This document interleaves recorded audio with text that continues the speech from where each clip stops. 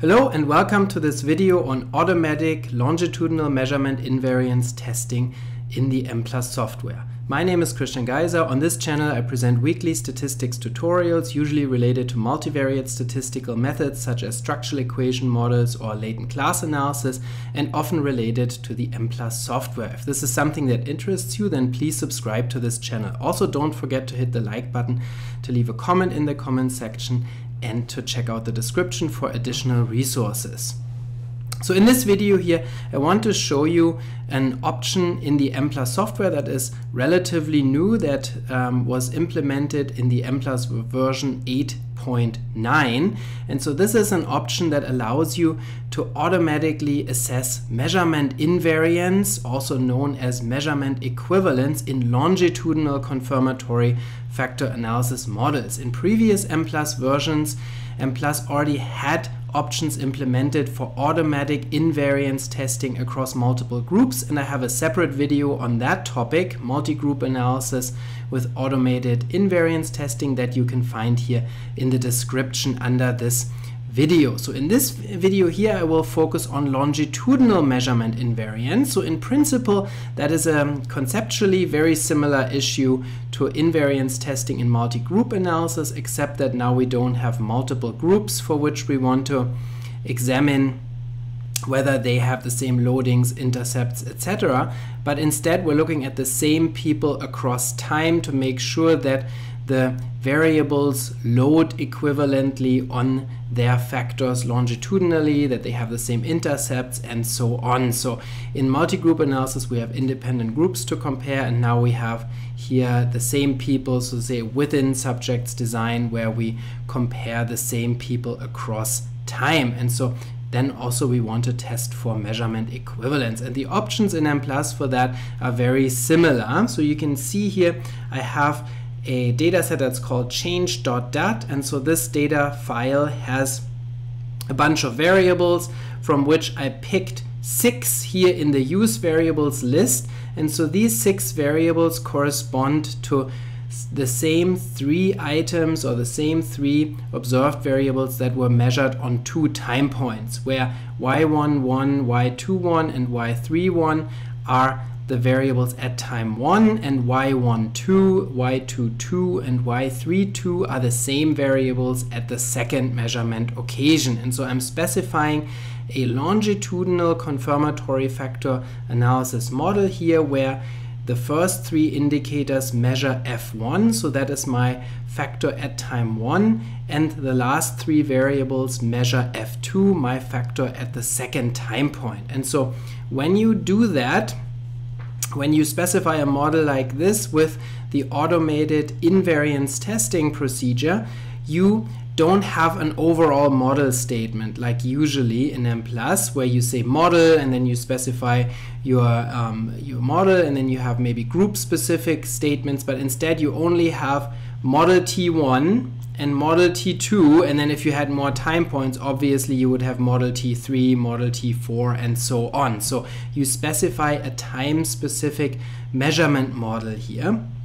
And so model T1 refers to the measurement model at time 1 and model T2 refers to the measurement model at time 2 and this allows MPLUS to know what you want to compare in terms of the parameters. So then MPLUS knows ah okay those are the corresponding factors for which I'm supposed to test loading invariance intercept invariance and so on or and or the configural um, invariance model here. And so MPLUS will do that if you specify in the analysis command model equals configural metric scalar and so then MPLUS will automatically fit the configural invariance model where nothing is constrained to be equal across time. The metric model where the loadings are constrained to be equal across time for metric or weak measurement invariance. And then also the scalar model where we have both loadings and intercepts constrained to be equal across time for a given variable that's also referred to as strong measurement equivalence across time. So it's a very convenient way to fit these three models simultaneously and to obtain tests of model fit so that we can compare those models, for example, through a chi-square difference test, and then you don't have to specify three different input files. You can run everything with just this one um, syntax file here. So let's take a look at this. In terms of the output, here we have 300 cases in this data set and we get the sample statistics as usual and then under model fit information, you can see that this looks a little different from a conventional M plus output file because it gives us an overall summary of the invariance testing here and it specifically it gives us for each of the three models the number of parameters, the chi-square test of model fit, its degrees of freedom and the p-value. And so you can see first of all that in this example the configural invariance model fit the data very well, which is a prerequisite for fitting more constrained models. So if this model were already rejected, then we wouldn't want to continue with any more constrained invariance models, but instead we would first want to address the misfit in this configural model and or um, go with a different type of analysis or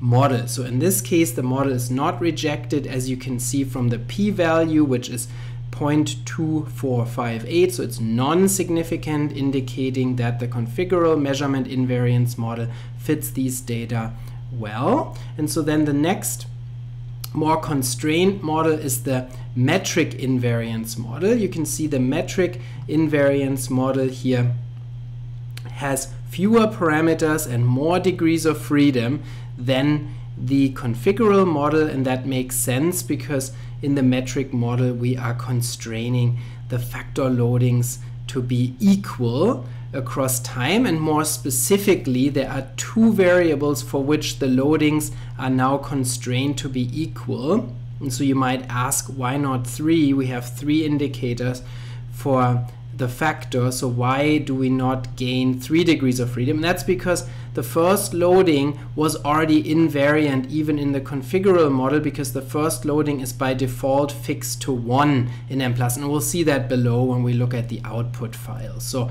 the first loading is already technically invariant even in the configural model because it's fixed to 1.0 at both time points to provide a metric or identify the metric of the latent factors f1 and f2. And so therefore we gain only 2 degrees of freedom when we go from configural to metric because there's only two other variables for which the loadings need to be constrained then for metric invariance. You can see the metric invariance model also has a um, nice looking p-value for the chi-square 0.3058. It's even a little bit larger than for the configural model showing that this model also fits well and since it's more parsimonious and still fits well um, we even get a slightly better p-value than for the configural model.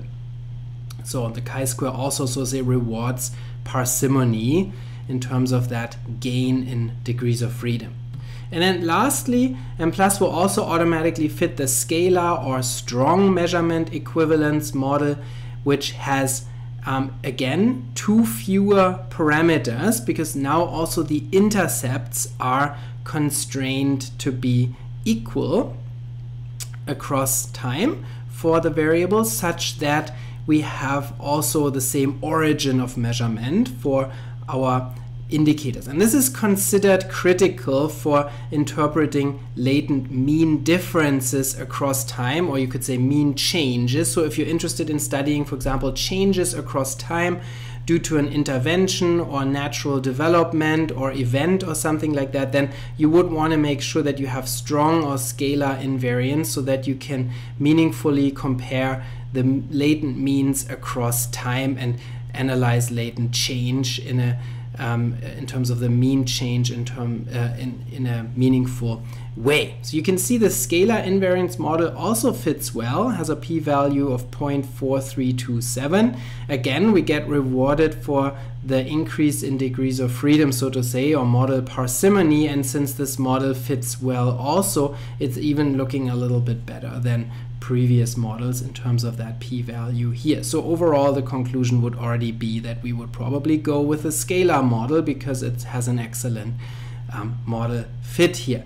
Now, in addition to that, MPLUS will also give you the chi-square difference tests for these models under models compared. And so you can see here under chi-square now it's the difference in chi-square values. First of all, between the metric model and the configural model. And you can see that that chi-square difference between, the metric and configural model is not significant, indicating that there's no decline in model fit as we go from configural to metric invariance. And likewise, there's also not a significant decline in fit as we go from um, configural to scalar invariance, the higher level of invariance. So that's also non-significant, indicating that even the scalar model doesn't fit significantly worse than the configural model. And also MPLUS will provide the scalar against metric comparison as well, which here is also non-significant, indicating that a strong or scalar invariance is um, no worse than metric invariance. So overall, the conclusion here is clear that we can assume strong or scalar measurement invariance, which is of course a nice thing. Now you can see here that MPLUS will not give you the strict measurement equivalence model, so it'll not test whether the residual or error variances are also equal across time. If that's something that you want to test also, then you would have to do that manually. So you'd have to specify the um, equality constraints in a separate input file on the error terms or measurement error variables. Now, it's not so critical for the interpretation of longitudinal change. And therefore, that's probably the reason why MPLUS will not give you the strict invariance model because it's not technically important for um, comparing, for example, latent means across time. Okay, then after that, you get the, the detailed model fit information for each model. First, the configural model, where you get now additional fit statistics, such as the information criteria. You get the chi-square test again that we've already seen. You also get the RMSEA, CFI, and, T and TLI and SRMR. If you're a fan of those indices, then you can look at those as well. And then below that is the same information for the metric model and then subsequently for the scalar model. So for each model you get the detailed output of the fit statistics as you would usually in the MPLUS software. And then after that um, are the parameter estimates. First of all, the parameter estimates for the configural model. Note that you only get the unstandardized parameter estimates under this option. If you wanted standardized parameter estimates, then you would have to run an input file separately for each of these models and request output stdyx or output standardized to get the standardized solution. So all these parameters here are unstandardized. And so, and that's because, that's probably because the um, constraints on the loadings and intercepts refer to the unstandardized solution, not the standardized solution. So it kind of makes sense that MPLUS doesn't give you the standardized solution here because it could be confusing because in the standardized solution the parameters would not be set equal here um, technically. So Here's first of all the configural model where you can see the loadings here can differ between F1 and F2 for the second, for the last two variables. For the first variable, they are the same because they're fixed to one. So you do have loading invariance for the first variable already in the configural model, but not the other two. And you can already see those loadings are very similar across time. So that's the reason why the um, metric and scalar invariance models also then fit well. And because the same is true for the intercepts as well. So you can see here that the intercepts are freely estimated across time but they're very similar for corresponding variables. 99.69 versus 99.882 and then 49 49 so they're pretty similar and and that's because the data here were simulated um, or that is in this case the reason they were simulated under a um, scalar invariance model. You can see that in the configural model, M plus specifies the latent means both at zero, or it fixes the latent means at zero so that all of the intercepts can be estimated. And so that's different as we move to other models. So let's take a look at the metric model. In the metric model, we have the loadings now constrained equal for y2 and y3 as you can see here. So now this is exactly the same loading 0.623 as you get here. And then for the third variable, it's exactly the same also 0.063. So those are now constrained equal. The means are still fixed at zero and the intercepts are still freely estimated in this model for all variables. And then as we go to the scalar model, you can see that now not only the in, not only the loadings are equal between time points, but also the intercepts. So here you can see intercepts are now formally constrained equal 99.79, 99.79, 49.935, 49.935. So those are all exactly the same. And now because of that, we can identify the latent mean of one of the factors. And so this would be, in this case, the mean of the second factor by default in MPLUS is now freely estimated so that we can contrast the means of the latent variables. And that's interesting because that allows you to assess mean change across time. And so with strong invariance or scalar invariance, we know that that is meaningful to look at the latent mean change. And so now we can interpret this relative to the F1 mean, which is still fixed at zero for identification. So MPLUS keeps this mean fixed at zero so that the F2 mean can directly be interpreted as the difference between the time 2 latent mean and the time 1 latent mean. And so that mean is here estimated to be 0.025 and you can see it's not significantly different from zero. The last column in M plus here gives the p-value for a test of significance of the null hypothesis that the parameter is zero in the population. And so that tests whether this coefficient is significantly different from zero and it's not the case. The p-value is almost 1.0 so it's not significant at the 0.05 level.